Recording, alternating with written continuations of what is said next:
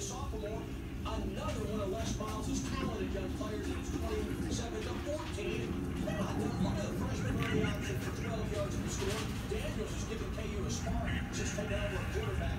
They're going for two. A little bit of fun here is wide receiver Andrew Parchment. Who does this look like? Looks like Patrick Mahomes. Hold it, hold it. Yeah, it touchdown, in this case, two-point conversion. They didn't win, but you know what? KU showed some signs of life. The final was 52 to 22. Daniels accounted for 201 yards of offense in his second start. Folks, KU has held to 73 rushing yards. Here's Coach Les Miles. We, we, have, we have to be able to run the football better. I want the ability to use the quarterback, but I don't necessarily want to use the quarterback as often as we, we have. But overall, the coach is happy with his younger players. You're starting to see some guys stepping you know, forward and making plays. One of those guys, Kenny Logan, whose 100-yard kick return ties the school record. At his